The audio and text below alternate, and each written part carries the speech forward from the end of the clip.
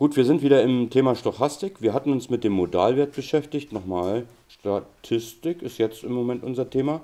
Wir beschäftigen uns im Moment erstmal mit, was war die Urliste. Das haben wir aber alles schon in einem anderen Video. Äh, wer das nachlesen will oder sich anhören will, uns damit beschäftigt.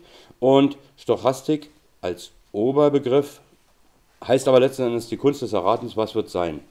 Wir hatten uns den Modalwert angeguckt und haben gesagt, Modalwert, Achtung, der trifft keine qualitative Aussage. Es ist also kein Verdienst, in Wismar geboren zu sein. Genauso ist der Satz, ich bin stolz darauf, Deutscher zu sein, in meinen Augen der größte Blödsinn, denn wer kann was dafür, wo er geboren ist?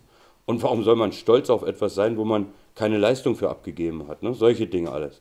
Und äh, wir haben uns den Modalwert auch mal angeguckt, wenn wir den mal versuchen auf qualitative Aussagen, also Qualität heißt, wie gut etwas ist, und Quantität heißt, wie viel etwas ist. Hier ist es eine qualitative Aussage, denn die Noten 1, 2, 3 bis 6 sind Ausdruck, wie gut jemand war. Hier haben wir eine Klasse, da haben absichtlich welche eine, äh, eine 6 geschrieben. Absichtlich, um den Lehrer zu ärgern. Und wir haben einen Durchschnitt der Klasse dadurch, wegen der vielen Sechsen, von 2,6. Haben aber überwiegend richtig schöne Leistungen. Der Durchschnitt sagt uns also auch nicht immer das Richtige aus. Deswegen brauchen wir verschiedene Dinge, um in der Statistik wirklich sagen zu können, jetzt kann ich auch eine qualitative Aussage nehmen und kann sagen, jawohl, so macht man das. Und wir haben genauso den Modalwert nochmal auf ein anderes Modell angewandt. Auch hier ist der Modalwert zwar 3, aber so, das passt gar nicht mit 2,5 zusammen. Ne? Die beiden weichen voneinander ab. Deswegen bei Modalwert bitte vorsichtig sein. Ähm, wenn jemand mal das Wort hört, arithmetrisches Mittel, dann heißt das errechneter Mittelwert. Errechnet. Arithmetrisch heißt eigentlich errechnen. Dann bedeutet das nichts weiter als den Durchschnitt zu errechnen. Wir kommen jetzt zu einem anderen Wert und zwar zu dem sogenannten Median oder Medianwert. Me Ach mein Gott, was schreibe ich denn? Median. Da müssen wir erstmal klären, was das ist und dann wissen wir viel besser damit umzugehen. Median. Ähm, das ist ein sogenannter mittlerer Wert. Was? Mittlerer Wert? Wir hatten doch gerade eben Mittelwert, Durchschnitt. Uh -uh. Median funktioniert ein kleines bisschen anders. Ein anderes Wort. Wir suchen jetzt mal andere Worte, die mit Medi zu tun haben und die schreiben wir uns dann mal auf. Wir haben jetzt hier verschiedene Worte, die alle mit dem Wort Medi irgendwie beginnen, äh, genommen. Und zwar ein Mediator ist einer, der sich zwischen zwei Streithähne zum Beispiel stellt, der sich dazwischen stellt. Mediterran bedeutet, ich habe es extra auseinandergeschrieben, man schreibt es normalerweise zusammen. Wenn ich hier zum Beispiel Europa habe und hier Afrika, dann ist das mediterranes Gebiet zwischen den Erdteilen. Also das Mittelmeer hier. Das ist, man sagt auch mediterran, mediterranes Klima. Ein Klima, was nicht ganz so kalt ist wie Europa und nicht ganz so heiß wie Afrika. Sagt man zum Beispiel mediterranes Klima dazu. Wenn ihr mediterran hört, dann heißt das zwischen den Erden, Terra die Erde zu Medien. Ja, die stehen zwischen uns, nämlich zwischen dem, was passiert ist, und denen, die woll wissen wollen, was passiert ist. Da stehen die dazwischen, Medien. Und der Mediamarkt ist auch nichts weiter als einer, der Medien verkauft. Nämlich immer zwischen dem einen und zwischen dem anderen. Hier gibt es eine Frage. Jetzt kommen wir mal zu der qualitativen Geschichte Median. Also als Bestandteil Median ich könnte auch so machen, Medianwert, wenn man das Wort so sieht, Medianwert, dann ist das gleiche gemeint, Median. Ähm, wie bestimmt man den, wie errechnet man den? Ich habe hier mal ein Beispiel genommen, das war ein Klassenspiegel einer Klassenarbeit und äh, wenn ich da den Durchschnitt jetzt ausrechnen würde, käme ich auf einen Durchschnitt von 3,2. Jetzt gucken wir uns mal an, 3,2. Hm. Was hat jetzt die ganze Sache mit dem Median zu tun?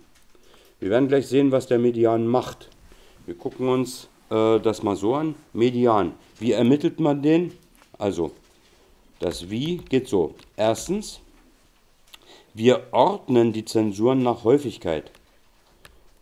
Ordnen nach Häufigkeit. Das mit der Häufigkeit, das kennen wir schon ein bisschen vom Modalwert. Ne? So, und zwar, jetzt gucken wir einfach und sagen, wo sind die meisten Zensuren? Aha, 8 mal 2. Also eine 2 ist 8 mal aufgetreten. Eine 6 ist 4 mal aufgetreten. Eine 3 3 mal. Eine 1 2 mal. eine 4 zweimal und eine 5 einmal. Hm. Jetzt haben wir das gemacht. Was hilft uns das? Im Moment noch nicht viel. Jetzt kommt der zweite Schritt. Jetzt zählen wir mal, wie viele Schüler sind das? Das sind 8 plus 4 plus das sind 20 Schüler. Und mit, den, mit diesen 20 Schülern machen wir folgendes. Jetzt malen wir einen Strich, zweitens, Strich, welcher 20 Schülern entspricht. In diesem Fall 20 Schülern entspricht. Hätten wir 21 Schüler, müssten wir einen Strich länger machen. Und das macht man in diesem Fall mit Kästchen. 2, 4, 6, 8, 10, 12, 14, 16, 18, 20. Jetzt ist der Strich so lang. Jetzt sagt man, wie viele Zweien hatten wir? Ich mache das mal so. Hier die Zweien. Jetzt kommt das. Jetzt sage ich 2, 4, 6, 8. Von hier bis hier, das sind die Zweien. Zweien, schreibe ich mal hin. Jetzt die nächsthäufige Art, die mache ich jetzt mal grün. Jetzt sage ich, das sind vier Sechsen. 1, 2, 3, 4. Jetzt kommen drei Dreien. Also das waren Sechsen. Jetzt kommen drei Dreien, die mache ich mal Aubergine. Bis hier. Dreien. Jetzt kommen zwei Einsen. Die mache ich mal knallrot. So, die Auberginen muss ich noch einmalen. Jetzt kommt rot. Äh, das waren nur zwei Stück, von hier bis hier. Jetzt gucke ich und sage zwei Vieren, die mache ich jetzt mal orange. Zwei Vieren. Achso, die roten waren die Einsen. Und zum Schluss habe ich eine 5. Und die mache ich jetzt hellgrün. 5. Ja, jetzt habe ich das alles so geordnet und habe mir das grafisch klar gemacht. Und jetzt kommt es. Und jetzt nehme ich genau die Mitte. Jetzt kommt der dritte Schritt, Mitte nehmen. Und zwar die Mitte des Striches. Mitte des Striches nehmen. Und die Mitte ist bei 10. Also hier. Hier ist der Median. Na, jetzt müssen wir darüber diskutieren. So, jetzt haben wir das mal durchdiskutiert. Und zwar eine Klasse, die sowas zulässt, dass 4 plus 1, also dass die Leute hier, dass die durchfallen, obwohl sie gute Leute in der Klasse haben, die zeigt letzten Endes, dass sie die Leute erstens nicht ermahnen, aufzupassen, zweitens denen aber auch nicht helfen und zu sagen, komm, wir setzen uns heute Nachmittag mal hin, ich zeig dir mal, wie das geht. Das ist eine Klasse, die besteht aus einem guten Feld und einem sehr schlechten. Die anderen können Pech gehabt haben, das kann durchaus sein. Aber wenn die den anderen nicht helfen, dann ist die ganze Klasse nichts wert. Kann man in diesem Fall direkt ablesen. Deswegen dieser verrückte Median, nämlich Sechsen, so viele. Und da zeigt der Median hin. Der zeigt immer in die Mitte des Striches. Medi, wir wissen ja, genau in der Mitte. So, und die Mitte des Striches nehmen heißt dann, entspricht also Median ablesen. Das ist es. Ein anderes Beispiel, weil das ist hier ein denkbar drastisches und böses Beispiel. Ähm, wir nehmen mal eine andere Klasse. Und zwar, die hat folgenden Durchschnitt. Ich mache mal kurz Pause. So, jetzt nehmen wir mal ein anderes Beispiel, eine andere Klasse. Und zwar, so ist der Notenspiegel. Durchschnitt können wir gleich nochmal ausrechnen. Ähm, und wir machen folgendes, wir ordnen wieder. Wir sagen, okay, die Zweien kommen zuerst. Da habe ich zwölf Stück. Machen wir das wieder so. Blau hier. 2, 4, 6, 8, 10, 12 Stück. Das sind die Zweier. Jetzt kommen 8 Einser. 2, 4, 6, 8. Das sind die Einser. Und jetzt kommt hier in grün zwei Dreien. Und jetzt kommt noch die letzte, die mache ich mal hellgrün, die 6. So, Median. Jetzt gucken wir, 23 Die Hälfte sind 12,5. Also zeigt der Median hier hin. Was hat man gesagt? 12 und hier. Hier zeigt er hin. Jetzt gucken wir uns mal die Klasse an und werten das mal aus und sagen, der Median liegt bei 1 sogar, obwohl mehr, mehr Zweien dabei sind. Der Median liegt trotzdem bei 1. Warte mal, stimmt das überhaupt? Ach, 12,5, 11,5, Entschuldigung. 11,5, hier. Der Median liegt bei 2, da ist er, pardon.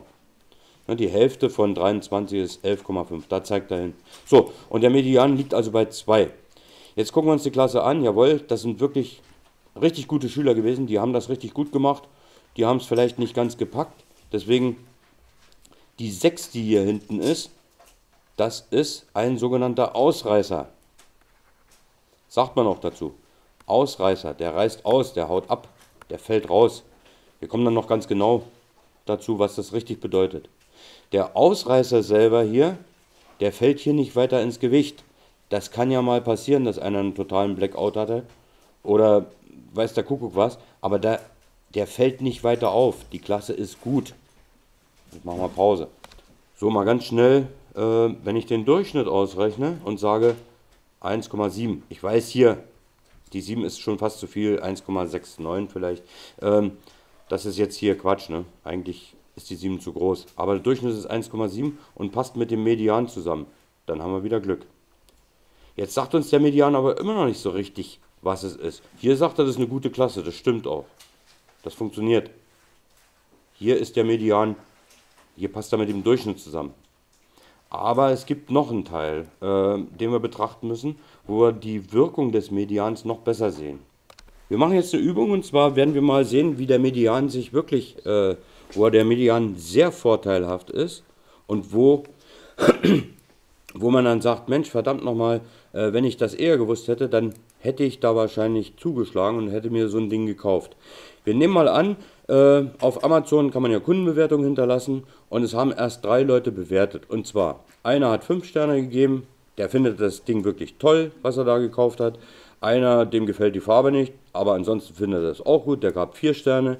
Und dann kommt einer, und das war ein Irrtum, der schreibt einen Text von fünf Seiten und findet das Ding super toll und denkt, eins ist das Beste und gibt nur einen Stern.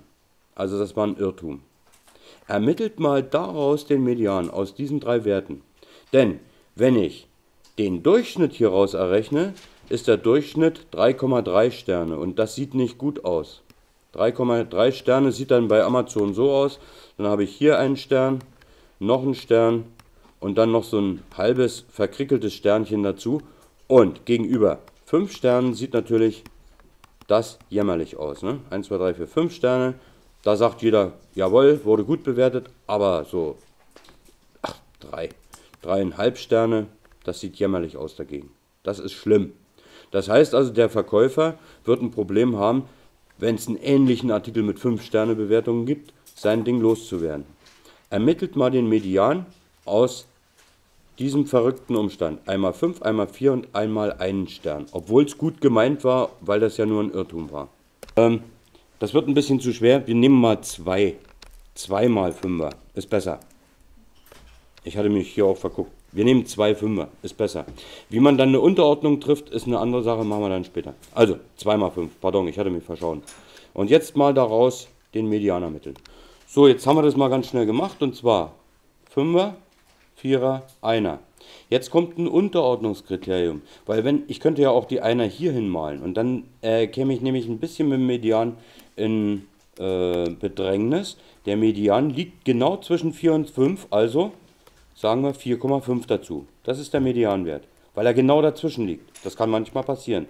Dann müssen wir nämlich den Durchschnitt aus diesen beiden wählen. Das ist der Median. Und jetzt kommt's. Das heißt, ich muss mein Kriterium so ordnen, dass ich erst die Häufigkeit hinmale und wenn ich gleiche Häufigkeiten habe, dann das qualitativ bessere voranstellen. Und dann kann man auch den richtigen Median ausrechnen. So, hieraus folgt, jetzt müsste die Amazon-Bewertung nämlich so sein. 1, 2, 3, 4 und ein halber Stern.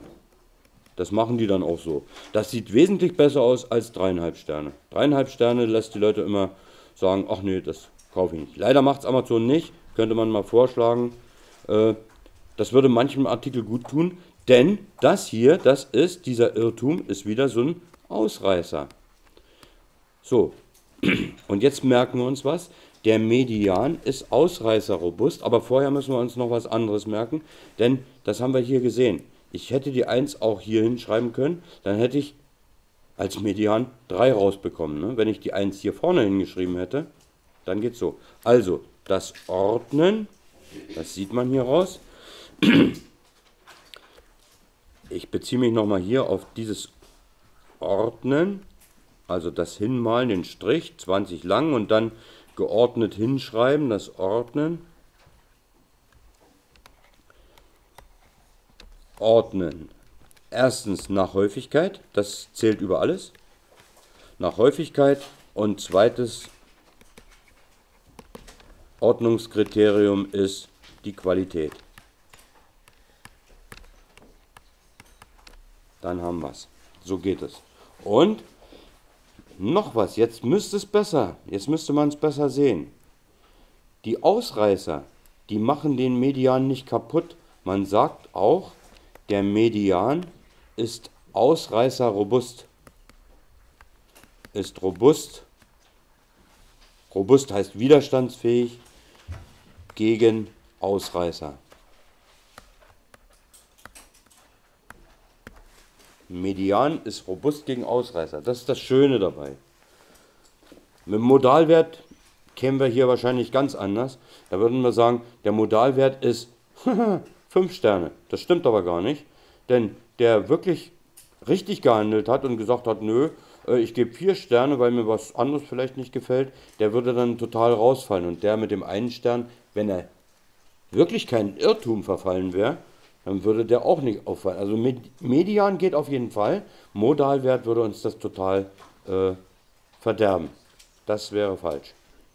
So, wir werden uns also noch mehr mit solchen Medianen und ähnlichen Werten äh, und Übungen damit beschäftigen, wo wir merken, dass der Median robust gegen Ausreißer ist. Aber unterm Strich frage ich euch, was haltet ihr von Statistik? Liebes! Das sage ich auch.